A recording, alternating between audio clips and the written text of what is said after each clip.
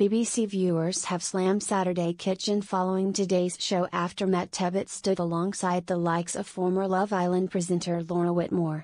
The 50 year old host was also joined by chefs Gennaro Contaldo and Anna Jones, who whipped up a mouth watering storm.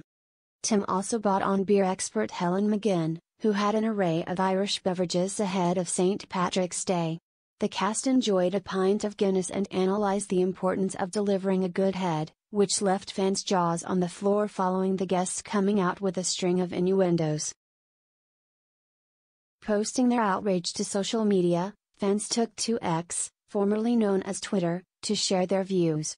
One user wrote, Stopped watching hashtag Saturday Kitchen when James Martin left I spend Saturdays listening to music. A second said, just have a bloody Guinness hashtag Saturday Kitchen. While another agreed saying, just drink it and shut up. Hashtag Saturday Kitchen.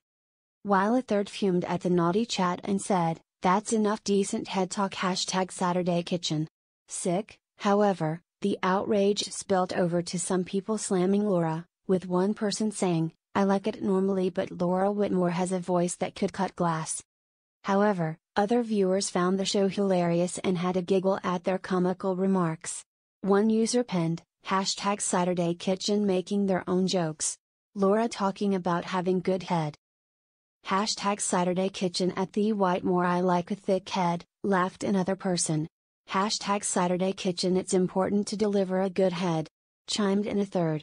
Meanwhile a fourth hailed the funny snipes and said, carry on hashtag Saturday Kitchen innuendo after innuendo. Laura was the true star of the show as fans could not get enough of her, after mentioning her in comments, Laura Laura. Now we know how you like your stout at Saturday Kitchen hashtag Saturday Kitchen. Some viewers called for Matt, who has hosted the popular cookery show since 2016, to be knighted after the hilarious segment, with one person writing, at Saturday Kitchen Matt should be knighted for not breaking down over the drinks section of the show.